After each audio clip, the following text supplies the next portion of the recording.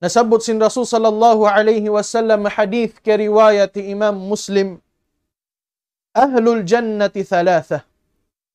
Dain mga sifat Siyabot sin Rasul sallallahu alaihi wasallam sin mga tao surga. Dhu sultanin muqsit muwaffaq. Dain mga sifat na sabot sin Rasul sallallahu alaihi wasallam panagnaan amuin manu siya dihilan sin Allah subhanahu wa ta'ala kawasa. Dihilan pagparinta sin Allah subhanahu wa ta'ala Sabta inkiaunan sin pamarinta niya muksit ay bima'na adil siya. Adil siya roon ha pamarinta niya, ha pagkawasan niya. Muwaffaq sabta in siya, ha piapanduan sin Allah subhanahu wa ta'ala maun pamakasabab-sababan hikadawhat niya sin rida iban ulong sin Allah subhanahu wa ta'ala.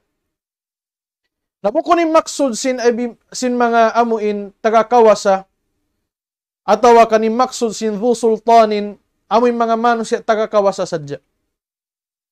In ama halaw man sin pamaybay nila in siya sultan. Siya intag pakaradyaan. Siya intag milik. Siya in labi makaingat sin bang unin kakunahan sin ahli family niya. Damikyan mga pabilin hambuk ama, nagpaadil siya, Sabta himinang siya sin mga sawab hikadawhat sin rida sin Allah subhanahu wa ta'ala. Insiyayan bilang ha mga si, sin mga sila. Amu insyabot sin Allah subhanahu sin Rasul sallallahu alaihi wasallam amu in din ha mga tausulga. Damikian in nakura hambuk tumpukan.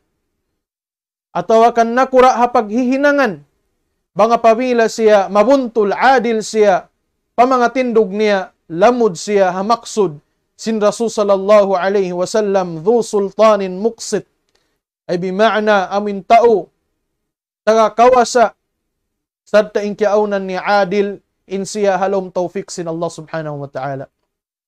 Damikyan din ang mga sifat siyabot sin Rasul sallallahu alaihi wasallam wa rahimun raqiqul qalbi li kulli dhi kurba wa muslim. Ambuk usog baing ulungon malunok in pangatayan niya, rakikul qalb, ay bima'na, malunok in atay niya, likulli di kurba, maong pakatan asukampong lawlasya niya.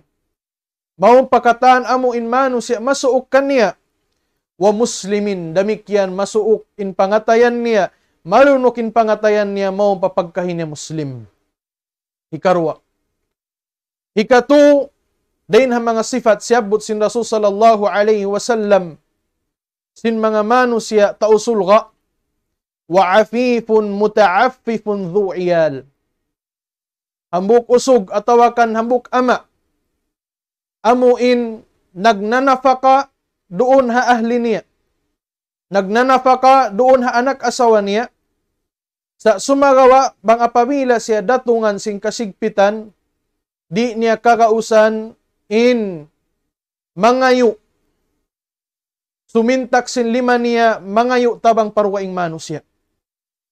Ay bima'na misan biyari inin sigpit sing kahalan niya, hapaglawag nafaka, doon ha anak asawa niya ahli niya, di mabot amuin makapangayo siya tabang parwaing manusya.